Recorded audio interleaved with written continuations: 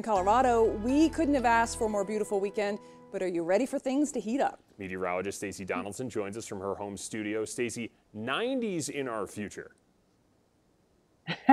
Looks like 80s and 90s are headed our way, but in the meantime, it's so beautiful out right now. I have all the doors and windows open in my house and I can smell somebody firing up the barbecue. It smells so good coming through here. Now, our temperatures for the next few hours are going to be in the 70s. We'll have 75 by 7 o'clock, 70 degrees by 9 o'clock and 64 degrees as we head toward 11 o'clock tonight. So a nice mild evening as really warm air starts to settle into Colorado. This is what it looks like at Civic Center Park right now. Beautiful skies overhead, just a few high clouds. Otherwise, a nice calm day. Our headlines include heating up tomorrow. Afternoon highs will be near 90 degrees for the next couple of days.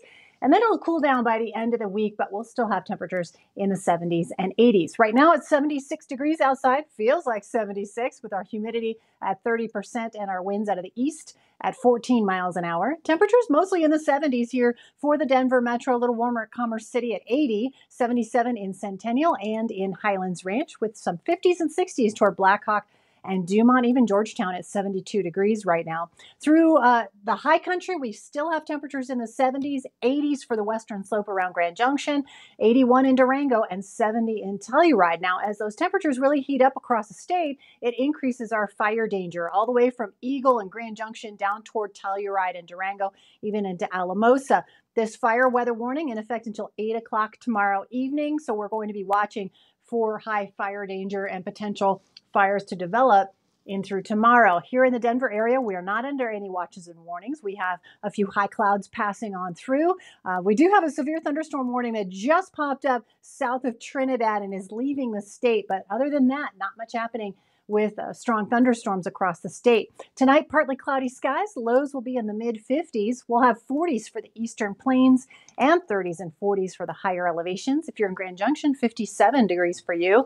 40s and 50s out west toward Estes Park, Allenspark, and Nederland. We'll have 40 in Idaho Springs and then 54 for a low here in Denver tonight. Our around the block forecast includes temperatures in the 70s once we get toward lunchtime tomorrow afternoon, low to mid 80s by the early afternoon, and we're going to top out around 89 with mostly sunny skies for that afternoon high. Now, if you're hitting the trail tomorrow, maybe a little walk up in the woods near Georgetown, it'll be 50 degrees in the morning, 78 by the afternoon. Nice warm weather on the way. And here we'll be close to 90 degrees for the front range. We'll have some 90s toward Pueblo, La Junta, and Lamar, uh, even into Trinidad those temperatures in the low 90s there, 60s and 70s for the mountains.